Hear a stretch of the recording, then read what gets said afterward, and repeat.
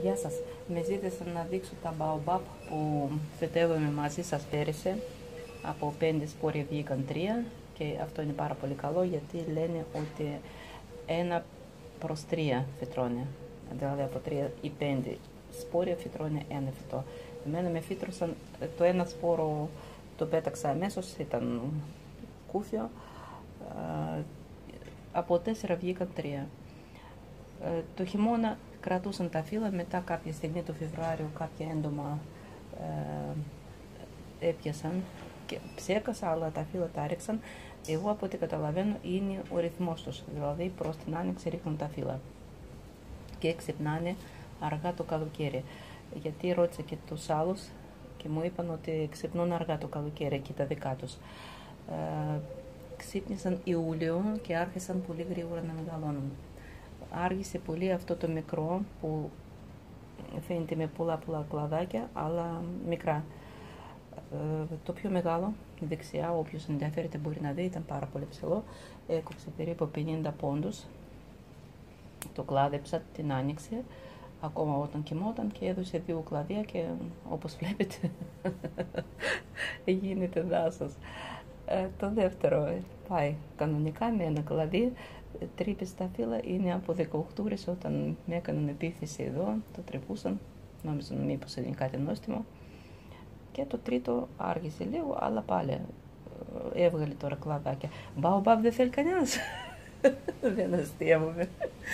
Απλά σκέφτομαι το μεγαλώσουν τι θα τα κάνω. Βέβαια θα φορμάρω και τις ρίζες και πάνω μέρος, αλλά πάλι τεράστια δέντρα, τρία έχω τι να τα κάνω και να μου φτάνει. Όποιος ενδιαφέρεται, γράψτε μου. Ε, λοιπόν, ανακάλυψα και κάτι στη ρίζα και θα σας δείξω τώρα.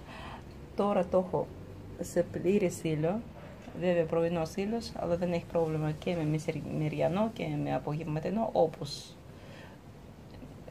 όσο ήλιο έχετε τόσο καλύτερα, γιατί ε, τα πετά αυτά είναι απαιτούν μάλλον πολύ φως και πολύ ήλιο.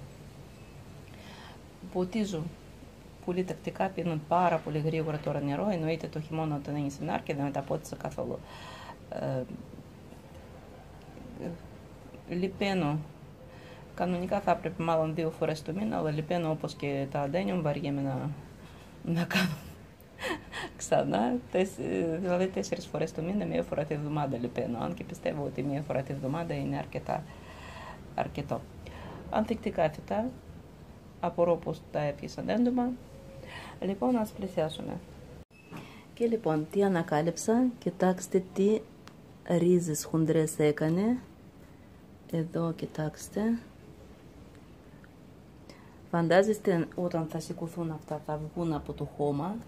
Αυτός εδώ έχει αλλά πολύ βαθιά. Πολύ μεγάλη ρίζα και εδώ.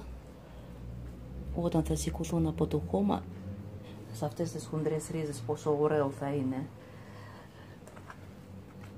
Αυτά ήταν τα baobab μου. Αν σας άρεσαν κάντε like. Αν θέλει κανένας baobab γραφτείτε στο κανάλι μου. Ευχαριστώ.